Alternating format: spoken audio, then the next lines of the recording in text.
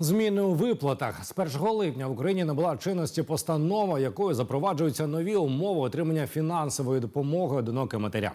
Нововведення стосується лише тих, хто виховує дітей віком старше трьох років. Всі виплати, встановлені до 30 червня 2020 року, будуть здійснюватися за старими умовами до закінчення терміну їх призначення. За новими правилами буде враховуватись зарплатня, кількість членів родини та прожитковий мінімум на дитину певного віку. Як запевняють активісти партії порядок, за цими розрахунками виходять досить невеликі суми. Если, например, мы возьмем а, доход э, матери-одиночки, которая имеет ребенка 6 лет, если э, она получает минимальную заработную плату, то это 4723. Э, Если разделить на двоих членов семьи, то это будет 2361.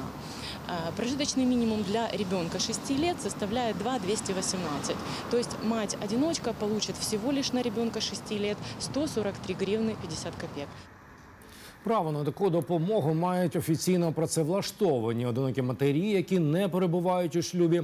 Одинокі усиновлювачі, мати або тато дітей у разі смерті одного з батьків за умови неотримання пенсії по втраті годувальника. Проте не всі бачать в цих нововведеннях головного соціального спрямування.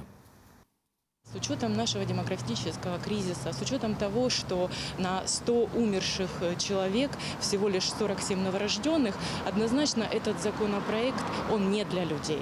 Он действительно социально не направленный.